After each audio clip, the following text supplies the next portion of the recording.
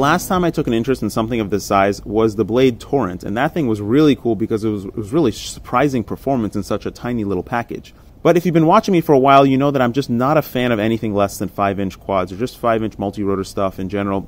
In the past, the electronics of these things that are tiny were just really horrible. The the ESC boards were terrible. They were unreliable. They would wobble. They would you know dip around when you try to throttle pump, and they would fall out of the sky randomly and it's just really annoying to deal with.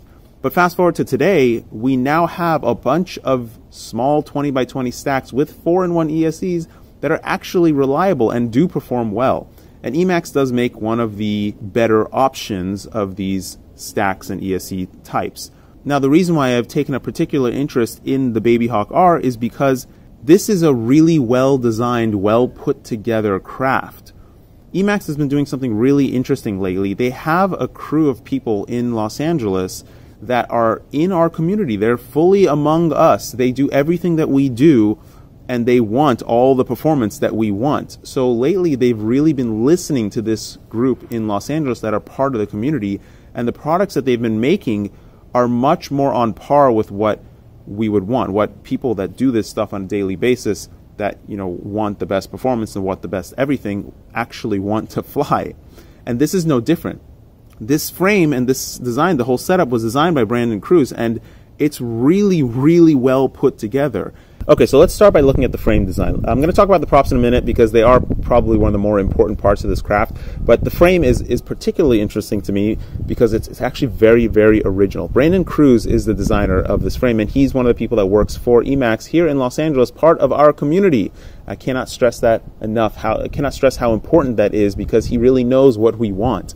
And so when you take a look at this frame design, you can see that it's a tiny little two-inch frame. They will also have three-inch arms for it, and I would also want to see four-inch arms for it with 14xx motor mounting pattern. Hint, hint, hint. Wink, wink, wink. But the frame has independent arms and it has kind of this, um, it's well-known sandwich chassis style. You can see here it's got a 1.5 millimeter lower deck and then it has a 2 millimeter upper deck and it has three millimeter arms, which are super beefcake for um, a two inch craft. So you you probably have no chance of breaking this frame. So no worries about that.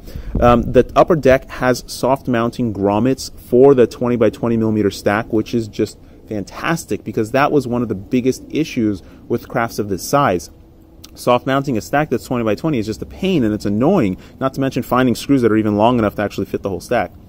And then they made this beautiful canopy on top, which is really the best part because it finishes the whole package. It makes it looks look finished and, and like an actual product, not like some hacked together thing that we've built.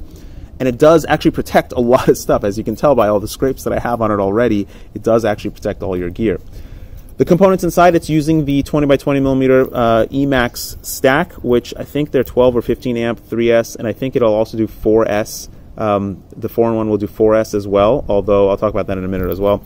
The stack is great. It's a stack that, I mean, anybody from the community would consider using for a 3-inch or even a 4-inch of this size. It's, it's like it's like a good stack. It's, it's a real stack. It's not like a toy stack or some weird Banggood whatever stack. It's something that they sell and people buy to build custom quads, and they're good.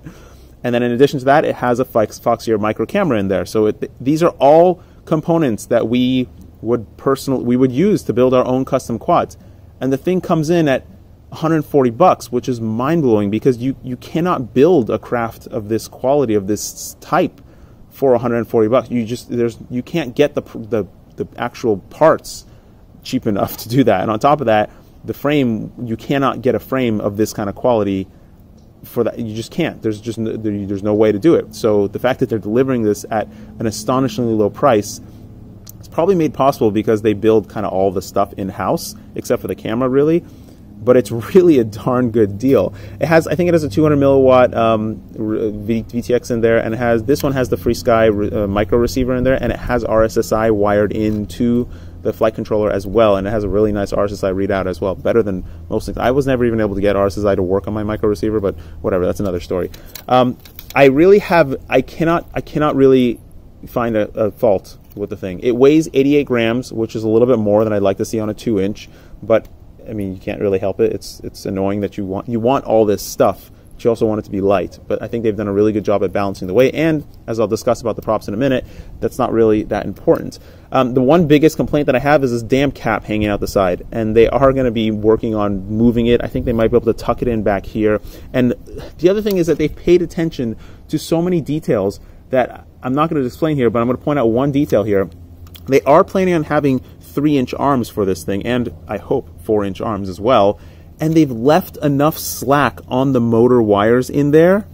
In here, you can see there's enough slack in there to put the three inch arms on here. Like, I, when I took apart the Torrent and I wanted to put longer arms on it to, to, run bigger props, I couldn't because there wasn't enough slack in the motor wires. I even wanted to design a custom frame for it, but I couldn't because there wasn't enough slack in the wires. The fact that they thought ahead and they knew that people would want to put three inch arms on this to run three inch props on these tiny little motors, which is a fantastic idea, by the way, is just it's it shows that they really paid attention and it really is designed by people in the community that know what we want which I appreciate. I massively appreciate. And honestly, that's the main reason why I've taken an interest in this is because it's not a it's not just a little toy. It's something that it's as if you paid somebody to build it for you and they're delivering a perfect build, like a really tight, nice, clean package build for you and you don't have to do anything. You don't have to do anything about it. It's got all the all the right parts on it. It's got the motors you want, it's got the stack you want, it's got the camera you want.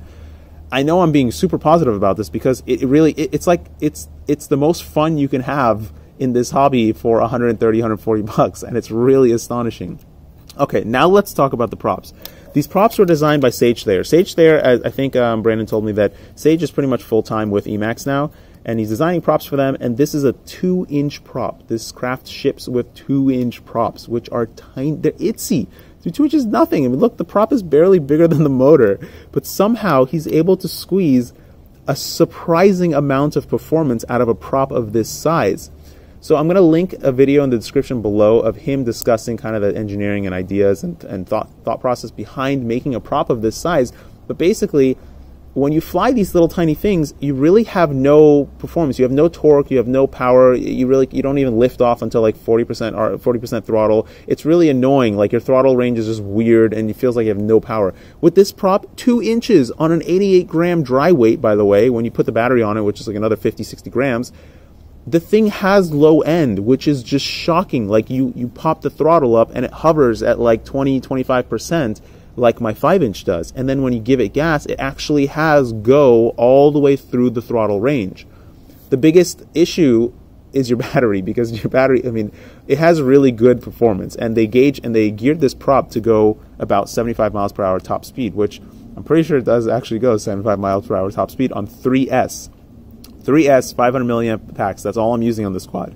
Um, yeah, and the biggest issue is your battery's got to hold out. I only have crappy packs. I don't have any good packs. Uh, Pureflip was sold out of the better, better China Hobbyline packs, so I have just got crappy like Infinity and some crap that I had from a Lizard 95 frame that I had from Banggood a while ago. And they don't perform the best, but they perform adequately. But I would recommend 500 to 600 milliamp 3S for this quad. I wouldn't really. I mean, you can run 4S on it, but they told me the stack will do 4S but um, you'd have to kind of retune it a little bit. And honestly, I'm I'm just so not into just retuning and redoing a bunch of stuff. I'll just use it as it was intended and just not deal with it. And for 3S, it performs really, really well. This is this is easily the best beginner quad. I, I mean, there's no no wizard, anything from Bang, no hundred dollar junk. Don't get anything else. This is actually a good quad. It has all the stuff that we want, all the stuff that anybody in the community would recommend in a really cheap package. I mean, it's not even it's not cheap. It's just a fantastic value package. So what you see here is that I've put um, larger props in the back because they don't fit in the front. 2.4 inches in the back. And if you if you've flown things of this size, I've, I've, built like dozens and dozens of them. If you've flown things of this size, you know that just going up to 2.3, 2.4 inch props, it gives you kind of a lot more performance, a lot more performance for just a little bit more size, but it does make the quad bigger. That being said, I really wish the front arms were just like two, three millimeters longer so that it would fit 2.4 inch props in the front. When I put the 2.4 inch props in the back, I just immediately got more flight time. I got a little bit more low end uh, torque. I got a little bit more, tiny, tiny little bit more grip, and they are quad blade 4 inch, uh, 2.4 inch props it's just it was it's a better size overall. But for two inches, I, I can't even believe the performance coming out of a two inch prop that being said, I'm looking forward to seeing a whole bunch of new two inch designs based around this prop because it is a really good prop. It's really durable. It's got a shocking, shocking performance, and um, yeah, it's just an overall good prop. You do kind of bend it up. You do have, I mean, naturally, it has no prop guards or anything. You, I've bent everything. These props have been crashed dozens of times each before I replace them, and I just keep bending them.